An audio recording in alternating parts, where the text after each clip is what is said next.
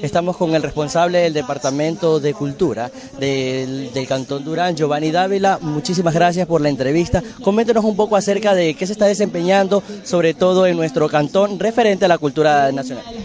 Bueno, este, tenemos varios puntos, ¿no? Este, justamente ya hemos expuesto algunas eh, propuestas que hemos hecho para ir a los barrios periféricos, eh, trabajando con lo que tiene que ver con el arte con varias ramas del arte, tanto teatro, títeres, danza, eh, canto, pero que los, estos eh, instructores que van a trabajar, evidentemente, son profesionales y experimentados en la didáctica y la pedagogía para poder enseñar en los barrios donde van a ir los instructores.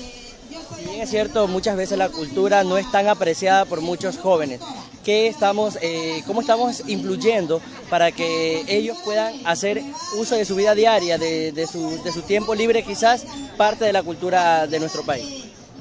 Bueno, este, evidentemente que, que toda esta propuesta tiene que forma parte de lo que tiene que ver con Durán, justamente preocupándonos por los problemas sociales, que eh, es, donde comienzan los orígenes, o como se le dice también, donde las papas queman.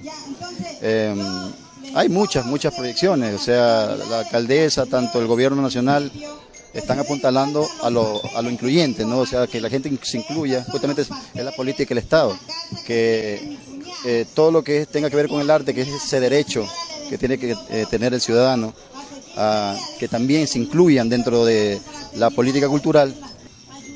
¿Qué tipos de eventos vamos a tener en diferentes partes de nuestro país? Bueno, para este 29 vamos a tener unos eventos, un evento aquí eh, que está trabajando el, Departamento de Turismo, eh, que van a haber bailes folclóricos, títeres, teatros, van aquí, justamente aquí donde estamos en este lugar, van a haber algunos stands de diferentes lugares donde se van a hacer recorridos turísticos y evidentemente también va a estar eh, toda la propuesta de los bailarines, folcloristas, canto y, eso, y esperamos que vengan todos los duraneños acá, que esta ya es una casa abierta, prácticamente una puerta abierta hacia la cultura, hacia el conocimiento y para que se diviertan y no tengan que estar yendo a Guayaquil.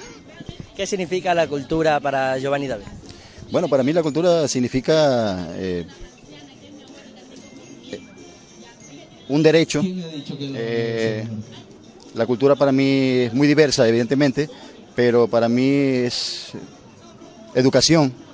Para mí la cultura es conciencia. para mí la cultura es libertad.